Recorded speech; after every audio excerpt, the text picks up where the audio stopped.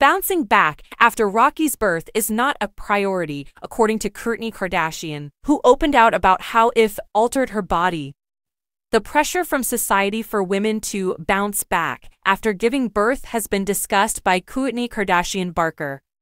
Kourtney and her spouse, Travis Barker, welcomed their first child last year, following Mason, Penelope, and Reign, whom she shares with her ex-husband Scott Disick. Kourt is now the mother of Rocky 13 Barker, who was born on November 1st.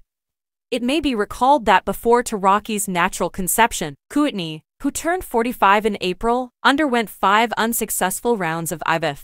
In 2022, she disclosed on the Kardashians how her physique underwent modifications due to eight months of IVF treatment. She revealed on the show that months before she naturally became pregnant, it was all of the hormones that the doctors put me on. I have undoubtedly experienced physical and mental strain as a result of my eight months of off treatment.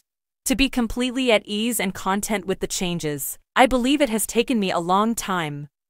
Having a partner who is always encouraging and supportive of me has really helped me to really embrace the changes and actually to the point where I love the changes now, she added of Travis.